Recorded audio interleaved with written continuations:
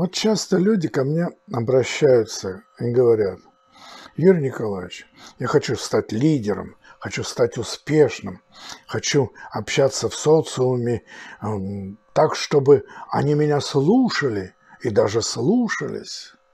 Вы посмотрите, сколько коучей, сколько вот этих тренеров этому как бы обучают.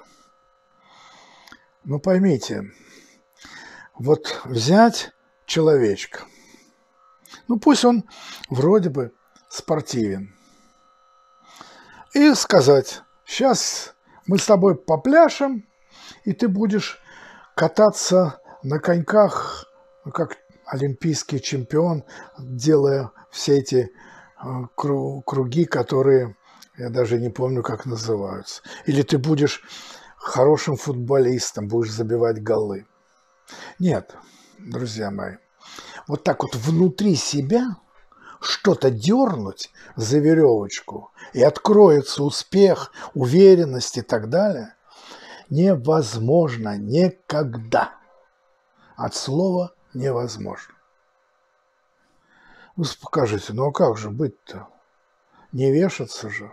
Нет. Вот поэтому необходимо вам понять вот эту сферу вашей психической системы. Это как устроены наши мозги, рептильная, лимбическая система, неокортекс, за что они отвечают, какие свойства имеют, какие потенциалы в них можно раскрыть. Понимать про ретикулярную формацию, которая является проводником этих сигналов. Да в конце концов, вы должны со своими нарративами договориться. Нарративы – это очень важная вещь, которая раньше, когда я начинал обучение в МГУ, там говорили про установки, но теперь мы говорим про нарративы. Это тоже какие-то убеждения – Отработать динамические стереотипы, привычка свыше нам дана. Важно еще, чтобы вы понимали, как все это функционирует. И понимали, что наш мозг – самообучающаяся нервная система вот этих нейронов. И многие говорят, я сейчас заложу программу, нажал на кнопку, и все, мозг выдадет. В компьютере, да, некоторые программы нажал, она выдает результат. А в мозг так не бывает. Да, про дефолт-систему можно сказать, что она сама решает. Но она решает сама на основе данных, которые вы туда заложили. Но этого мало. Факт карты. Важно, чтобы эта дефолт-система имела привычку и умение складывать эти кубики лего и что-то получать.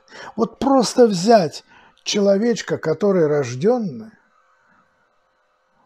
его так вот сказать, ты будешь успешным, из него ничего не получится. Он должен пройти стадии очеловечивания стадия социального общения, стадии э, внутренней создания карты реальности. Поэтому, друзья мои, вот я вам здесь немножко наговорил, и вы спросите, Юрий Николаевич, ладно, скажите четко, что нам нужно? Вам нужно прежде всего понимать сферу вашей психической деятельности. Это мозг, там три части, это ваша Э, ретикулярная формация, да, ваши нервы. Второе. Вы должны создать карту реальности.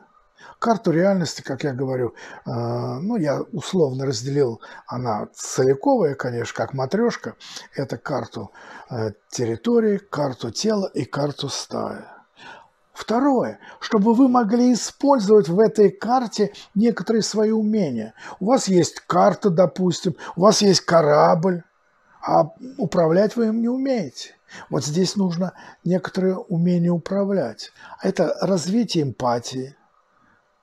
Это как бы некий невербальный язык собственного эмоционального интеллекта.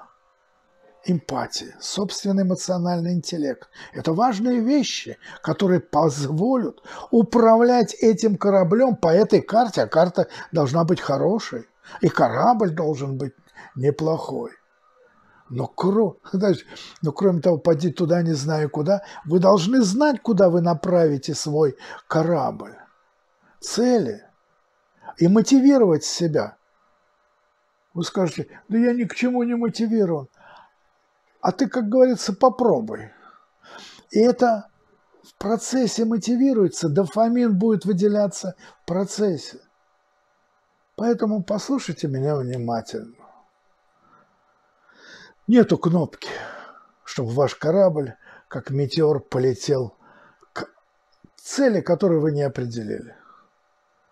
Еще раз повторяю, прослушайте этот ролик и подумайте, что вам не хватает в вашей консерватории, чтобы быть успешным, уверенным. А это тоже умение владеть кораблем.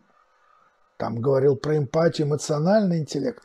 А здесь уверенность держать руль своей судьбы.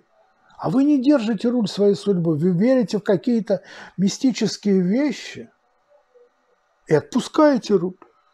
И корабль несет по волнам, как какашку. А ведь если вы хорошо управляете, вы можете идти галсами против ветра. Давайте этим займемся. Я вам про это рассказываю. И это нужна тренировка. И тренировка в поле жизни. Не где-то в группе подрочили друг другу, а выйти в эту жизнь. Потому что в этой жизни вы обязательно набьете коленки. Помните, как мы учились ходить? И этот опыт более эффективный, чем вы услышите от какого-то коуча или какого-то успешного, который вас на поле дураков зовет. Не будьте деревянными буратинами. Не зарывайте свои пять злотых на поле дураков. Работа, работа и еще раз работа. Подписывайтесь на канал, обращайтесь. Я кое-чего подскажу вам. Работать вам. А я только подскажу. Привет.